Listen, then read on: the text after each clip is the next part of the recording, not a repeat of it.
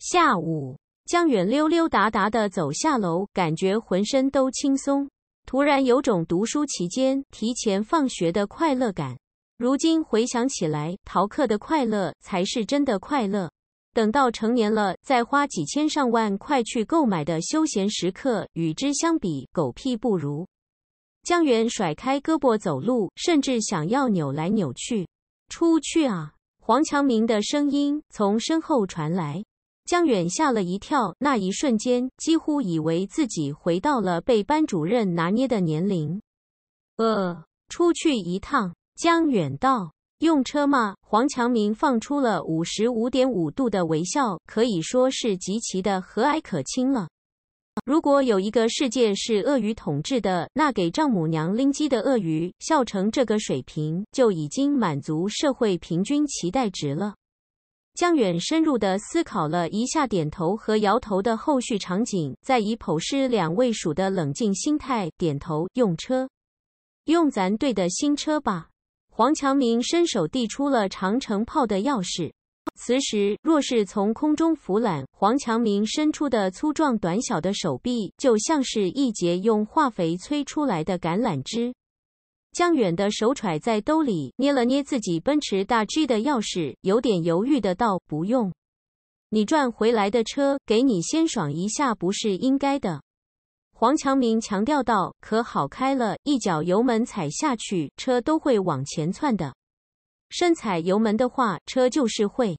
四年前的新车，每年都做保养的，你知道咱们局里面这种钱是不会省的。”黄强明不由分说的将车钥匙塞给江远，到办事回来就把钥匙给内勤，或者丢我这里都可以，别耽误别人用车。江远真的不想耽误别人用车，举起手来，不要开单位的车泡妞哦，酒吧、KTV 之类的夜场的停车位都不要去停，没空位了就开远点，抓人直接横到他们门口去，也不要停到停车位。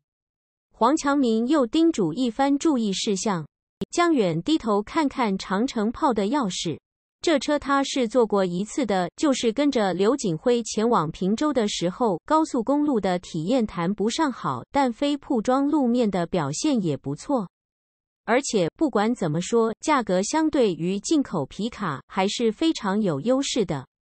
但是开着这车去酒吧泡妞。讲道理，看到这个车还愿意被勾搭的女生，至少证明是始于颜值了。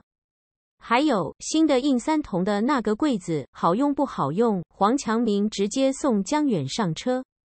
四年前的崭新皮卡就停在刑警队的大门口，甚至有一点挡路。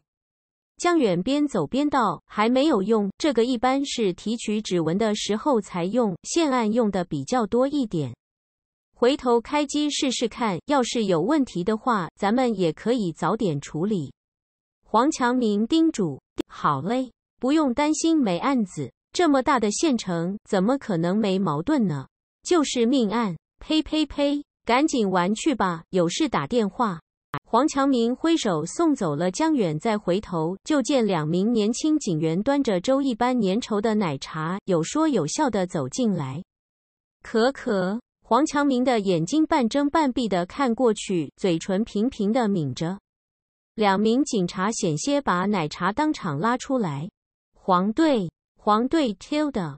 黄强明嗯的一声，指指奶茶道：“下次一定要喝，用没有标志的袋子装起来，再带进来。”是。两人夹着奶茶就走。江远在路口接上魏振国，在开往市郊的清河学院。清河学院是一所大专，规模不大，学生不少，算是清河市维持繁荣的基石了。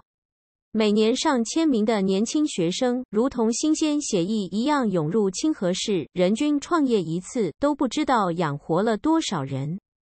曾卓虎是清河学院动物医学的动物学教授，有点瘦，体型好，明显有锻炼的痕迹。虽然学校次了点，但曾卓虎有自己的办公室，有自己的实验室，也是相当满意的。而且因为毗邻吴龙山，如曾卓虎这样的动物学教授，每年只要跑跑保护区之类的，就能收获大量的素材以发表论文，小日子过得相当舒服。曾卓虎的科研路线听起来也很简单，就是在野外有规律的放置一些摄像头，定期取回，分析摄像头里的动物行为，有想法就写下来，继而形成论文。为了处理大量的影像数据，他们也买了相对高端的计算机。得知江远的需求，曾卓虎立即就给江远安排上了。各种需要的软件也都按照江远要求的版本号由学生们安装了起来，只等他大驾光临。江远也不矫情，打开视频，大略的看了看，就将软件跑了起来。曾卓虎和几名学生都围在跟前看，大约也是想要更新技能，力求未来能自给自足，不被卡脖子。江远任由他们观看，只是也没有讲解就是了。影像增强的事，不是一句两句话能说清的。要是听听就能听懂，其实也用不着江远讲解，自己看书就行了。一个视频跑一遍，有效果了就再跑一遍，没效果了再换一种算法跑。视频增强基本上就是这样的流程，但实际操作中又有许多麻烦的处理。很多时候有没有效果，也不是用肉眼来判断的，要更加采用的算法不同来做不同的定量判断。曾卓虎很快就看明白了，就他的年龄和资质，不太可能自学成才到这种程度。于是，曾卓虎的表情反而快乐起来。世上无难事，只要肯放弃。放弃买房，财务自由；放弃结婚，人身自由。曾卓虎就是前代的躺平族，他没有去参与本科院校的竞争，转而回到了家乡的清河学院，娶妻生子，升职加薪。搞生物太卷，就回过头搞动物；搞动物的也卷，就拍拍照、摄摄影，搞搞本地的特色化学术。别人搞神农架的生态普查，他就搞吴龙山的生态普查。别人用的数据漂亮，他就修饰修饰自己的数据。这些动物录像也是一样的。早十年，国内刚刚开始放野外摄像机的时候，拍到雪豹、东北虎之类的，都是可以发顶刊的成果。现在固然是不值钱了，吴龙山的生物的关注度也低，但曾卓虎的要求也低，他只要能发文章就行了。赛可以，国内的核心期刊也足够令人满意了。不过说起来，曾卓虎算是躺平型的学者，但他在一座山上经营多年，拍摄出来的素材也是相当不错。江远不由想，当日那几名猎人组成的杀人盗猎团伙，要是盗猎的画面或杀人的场景被摄像头拍下，那就有意思了。会拍到人吗？比如盗猎的人？江远忽然问了一句，有点好奇的样子。拍到过人也没什么用。曾卓虎摊手道：“我们的摄像机基本都是放在保护区的，保护区外面还有缓冲区，都是不允许普通人进入的，所以拍到的人肯定是有问题的。但也就是通知森林公安一声。”他的学生在旁道跟前的村民，有些还是会进到林子里面去的，也不一定就是盗猎，有些就是找点药材什么的，也有偷偷跑去玩的驴友什么的。另一名学生道：“你都不知道他们胆子有多大。”我知道，我解剖过的。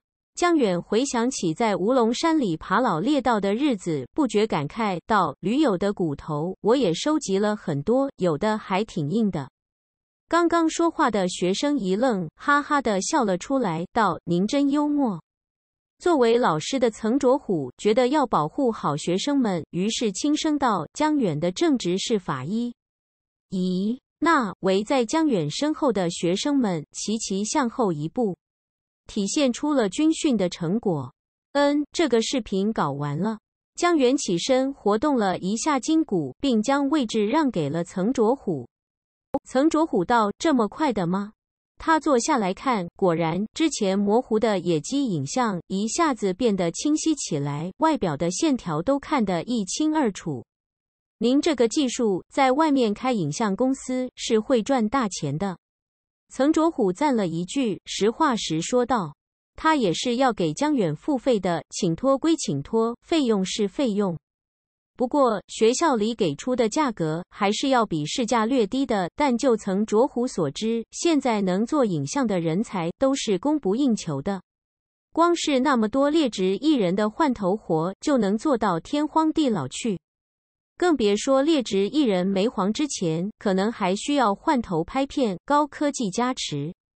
可惜江远对钱没什么兴趣，淡定的笑一笑，江远就接着做起了下一个视频。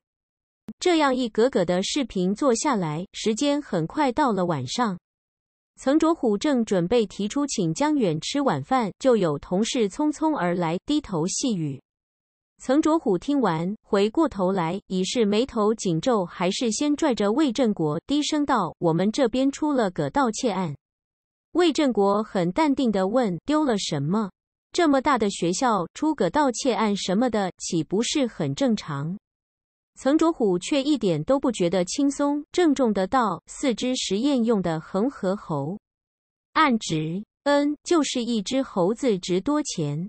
十五万一只。”曾卓虎解释道：“以前大概七八千一纸，现在价格暴涨。我帮你报警。”魏振国首先受不了了，六十万的案值已经是盗窃案中的大案了。